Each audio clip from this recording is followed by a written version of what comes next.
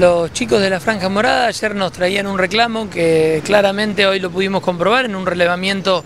que hicimos en la terminal de ómnibus, en donde solamente dos empresas están cumpliendo con la normativa y con la ley y con la reglamentación de la ley, que dice que todos los estudiantes universitarios y terciarios tienen derecho a tener el medio boleto eh, estudiantil para viajes interurbanos. Lamentablemente solamente la empresa Pulki y, el Nortevis están cumpliendo con esto, el resto no está aplicando esta normativa debido a que les exigen a los chicos documentación que es imposible eh, poder sostener. Por ejemplo,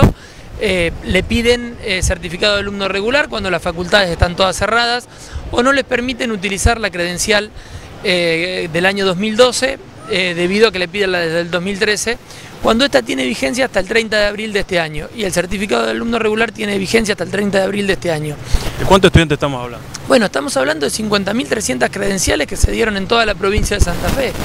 teniendo en cuenta que un viaje de Venado Tuerto a la ciudad de Rosario vale 58 pesos, la mitad sería alrededor de 27 pesos con 50. Si proyectamos esto por 50.000 estamos diciendo que las empresas están quedando prácticamente por viaje con un millón de pesos de todos los estudiantes.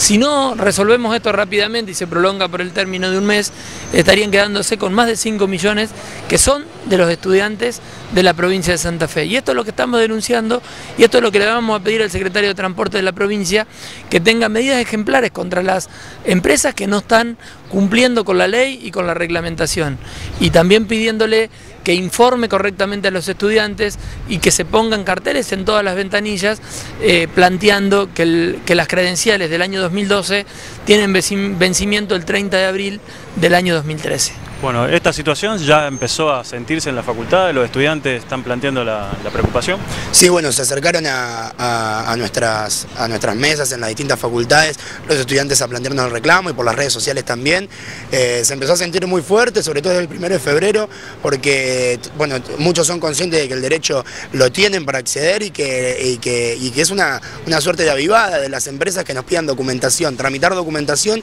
en un periodo donde las facultades están cerradas, recién están retomando la, actividad administrativa, así que estamos muy preocupados porque como explicaba Maxi, eh, le están sacando directamente plata a los estudiantes, le están sacando directamente plata a, jóvenes que vienen a estudiar, que, son parte del futuro de nuestra provincia, de nuestra nación y que nos parece que es muy grave y que el Estado tiene que ser ejemplar con las sanciones y que tienen que ser proporcionales a lo que va en las empresas con este, con este... Bien, entonces lo que están pidiendo es certificado de alumno regular. Exactamente, certificado de alumno regular o peor, la